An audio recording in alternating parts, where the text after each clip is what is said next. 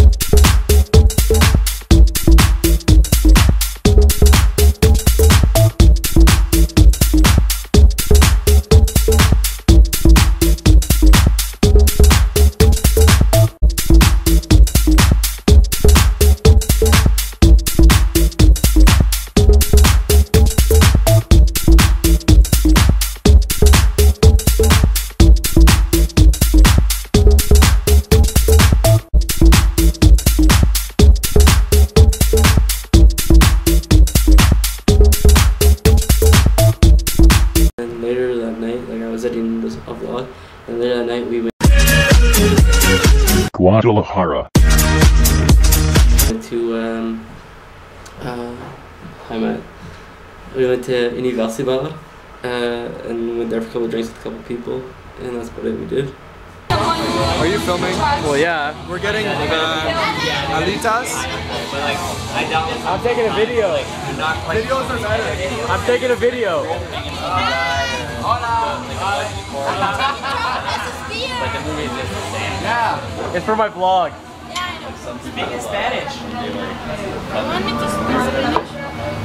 Cerveza de 12 pesos.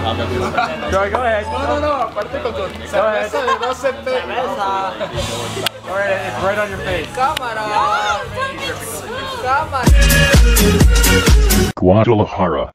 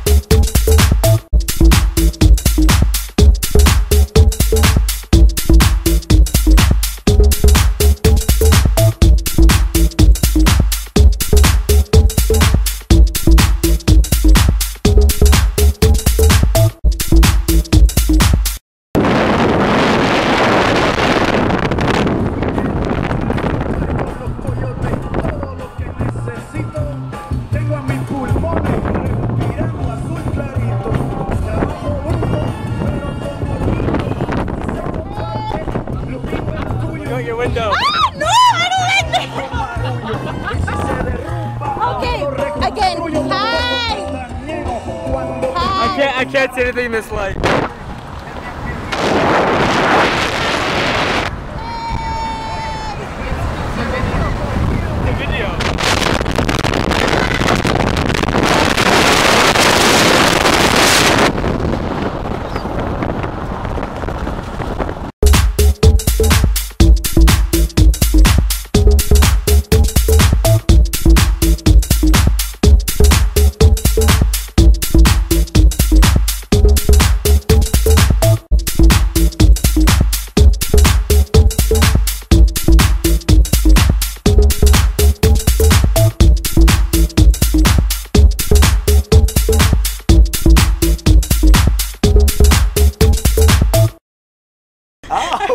All right, we're good.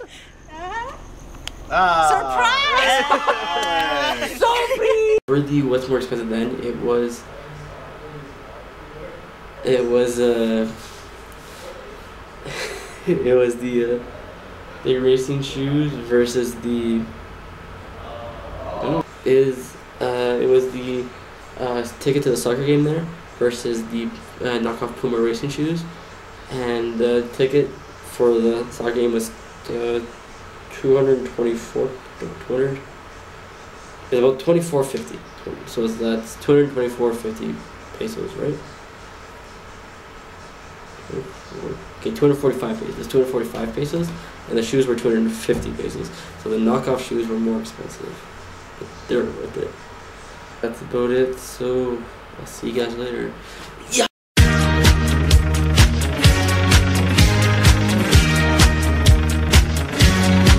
Guadalajara.